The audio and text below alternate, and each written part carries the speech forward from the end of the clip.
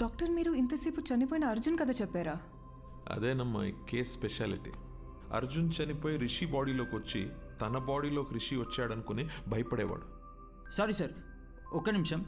మరి అద్దంలో అర్జున్ రిషన్ చూసినానని చెప్పారు యాక్చువల్లీ రిషికి అద్దంలో చనిపోయిన అర్జున్ కనిపించేవాడు.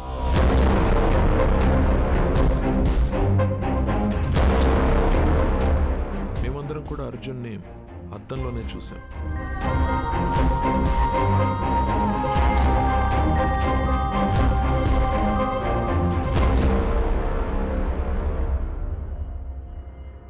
అర్జున్కి నిజం ఒక పెద్ద షాక్ అనే చెప్పాలి. నా పేరు అర్జున్ అంట. నీ పేరు మాధవి అంటున్నారు. మన పేర్లు కూడా మనకెందుకు గుర్తులేవు? అసలు ఈ దియా రిషి ఎవరు? వాళ్ళ బాడీలోకి మనం ఎలా వచ్చాం? అంటే మనం అందరినీ రిషి దియాల బాడీలోంచి చూస్తున్నామా? అంటే అందరూ మనల్ని అద్దంలోనే చూసుంటారు కదా? అద్దంలో సెల్ఫీ వీడియోలో వాళ్ళకి మనం కనిపిస్తున్నాం. వాళ్ళ వాట్సాప్ డీపీలో ఫేస్బుక్ ప్రొఫైల్లో మనం ఎక్కడ కనిపిస్తామని వాళ్ళు చెక్ చేస్తుంటే అది చూసి మనం భయపడ్డాం. ఇది మన ఇల్లు కాదు మాధవి. మనం కలిసింది రిషి వాళ్ళ మదర్ని. ఈ లైఫ్ మంది కాదు. మన ఇల్లు అక్కడ అసలు మన పేరెంట్స్ ఎవరు? మనం ఇక్కడ ఏం చేస్తున్నాం? Doctor doctor. One second sorry మీరు చెప్తున్న కథని మేము విజువల్గా ఇమాజిన్ చేసుకొని చూస్తున్నాము. కానీ నాకు అర్జున్ ఎందుకు బయట కనిపిస్తున్నాడు? లాజిక్ ప్రకారం చూస్తే అర్జున్ అద్దంలో ఉండి రిషి కదా బయట కనిపించాలి నేను అర్జున్ కథని అర్జున్ పాయింట్ ఆఫ్ వ్యూ నుంచి చెప్తున్నాను. అందుకే ఇట్స్ బట్ ఆబ్వియస్ నీకు అర్జున్ బయటనే కనిపిస్తాడు. ఓ. అందులో తప్పే ఉందాం అలాగే విజువలైజ్ చేసుకో. నీకే ఈజీగా అర్థమవుతుంది. అర్జున్ మనం ఇంకా వీళ్ళ బాడీ నుండి ఎందుకు బయటకు వెళ్ళలేదు? అవును కదా? నేను రోజుకో బాడీలోకి ఎంట్రీ ఇచ్చి ఎగ్జిట్ ఇస్తున్నా కదా? నన్ను అడుగు. సూపర్ ఎక్స్పర్ట్ అసలు. నాకేం చేయాలి అర్థం కాక బ్రెయిన్ దుబ్బేస్తుంటే నువ్వు నన్ను అడుగుతున్నావు.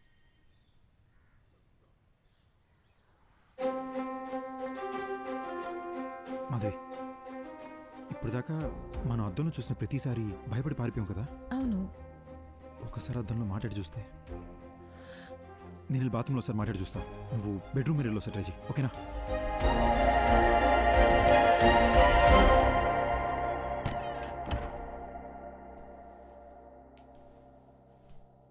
హాయ్ రిషి. అమ్మా, ఇలా పడ్డాడేంటి? బాసు ఎందుకు బాసు ఇలా భయపడుతున్నారు? బుద్ధుందా నీకు? నేను దెయ్యాన్ని. సినిమా చూడవా నువ్వు? నిన్ను మించి నీ బాడీ మీద కంట్రోల్ దెయ్యాలకే ఎక్కువ ఉంటాయి. భయపడకు. నేను మాట్లాడేది వినిపిస్తుందా? ఉట్టుట్టుకల భయపడక భయ్యా. వినిపిస్తుందా? వినపడ్డం ఏంటి బ్రో? బాడీ మొత్తం వైబ్రేట్ అవుతుంది తెలుసా?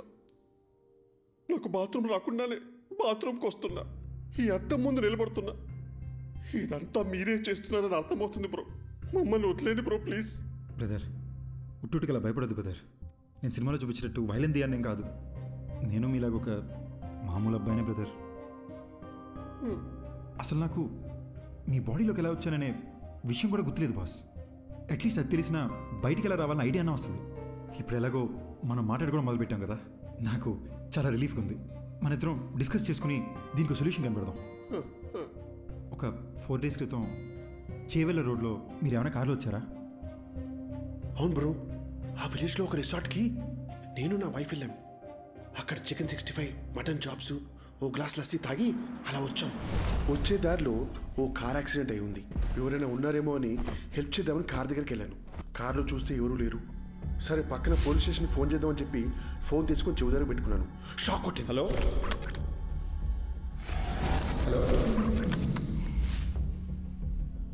నా వైఫ్కి దయ్యాల సినిమాలు చాలా ఇష్టం అండి. సరే ఓసారి దీన్ని శ్మశానం తీసుకెళ్ళి భయపడదామని బాగా ప్లాన్ చేశానండి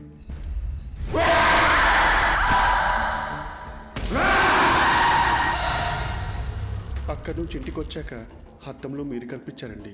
సపోజ్ శ్మశానంలో తప్పిపోయి మీకు తెలియకుండా మా లోపలికి వచ్చారేమోనని. శ్మశానంకి వెళ్ళి చెక్ చేసామండి.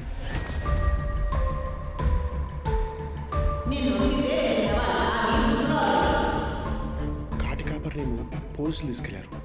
అది నీ డెత్ గురించి ఎంక్వైరీ కానీ నాకు ఇప్పుడు అర్థమవుతుంది.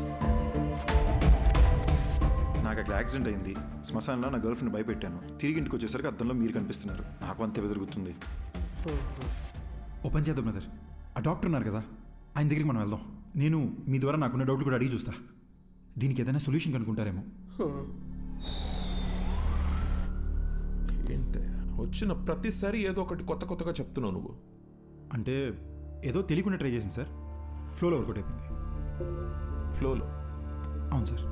గుడ్. ఇప్పుడు నాతో మాట్లాడేది ఎవరంట? Sir sir Arjun sir. పక్కన? Confidence sir. అర్జున్ నువ్వు నాతో మాట్లాడడం యాక్చువల్లీ నాకు ప్లస్సే.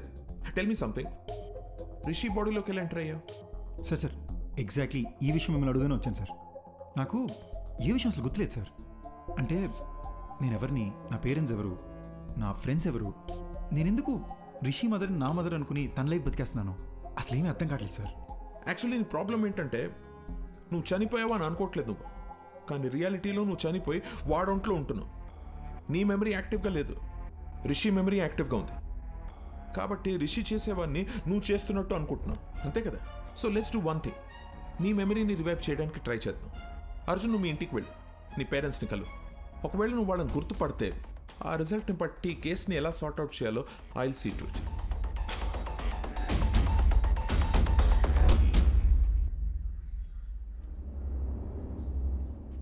ఏంటి సార్? టెన్షన్గా ఉన్నారు?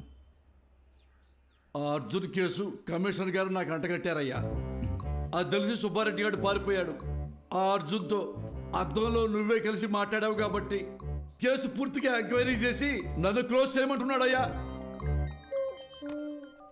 హలో. ఎవడో? అయ్యా! రిషి సార్! నమస్కారం. వన్ మినిట్ ఏ పొలగడ్డ ఎటు తిరుగు. చెవులు పూసుకో సార్. ఆ, అయ్యా దొరుకుతుంది. నేను మీకు వాట్సాప్లో పంపిస్తాను. కానీ చిన్న రిక్వెస్ట్ అండి. నా నెంబర్ తమరికి ఎవరు ఇచ్చారు సార్ అమ్మా!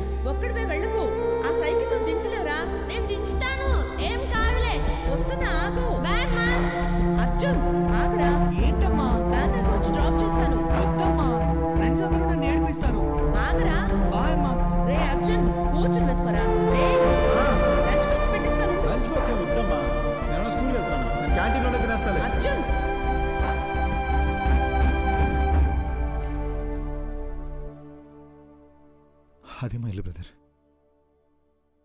ఇక్కడే చిన్నప్పుడు ఆడుకునేవాడిని ఇప్పుడు చనిపోయిన తర్వాత ఇంట్లోకి వెళ్ళాలంటే చాలా నర్వస్గా ఉంది బ్రదర్.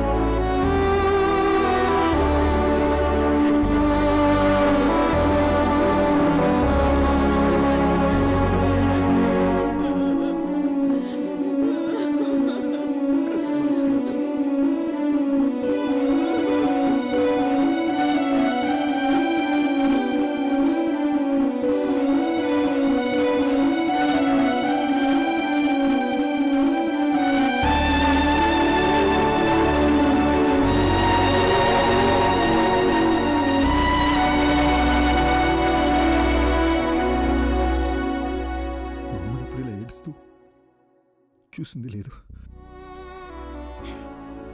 మా నాన్న నా బెస్ట్ ఫ్రెండ్ బ్రదర్ ఆయన కళ్ళు ఎదురుకుండా ఏడుస్తుంటే పట్టుకుని ఏడుతున్నానని కూడా చెప్పలేకపోయాను.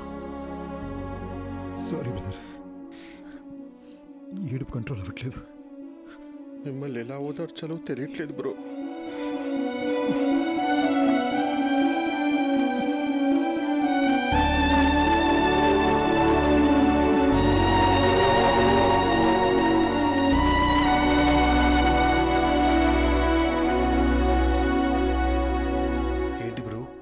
గుర్తుకొచ్చిందా? మా నాన్న సిబిఐటీలో ప్రొఫెసర్. మా అమ్మ హౌస్ వైఫ్. మా ఇంటికి మా అమ్మే డాన్. మాది చాలా హ్యాపీ ఫ్యామిలీ బ్రదర్. నేను మా నాన్న కలిసి మందు కూడా వేసేవాళ్ళం. కానీ మా అమ్మకు దొరికేమో చచ్చా.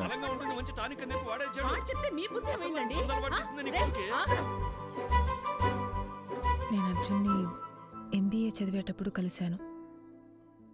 అండ్ వి ఇన్స్టెంట్లీ క్లిక్డ్ మా లవ్ స్టోరీ కాలేజ్ మొత్తం ఫేమస్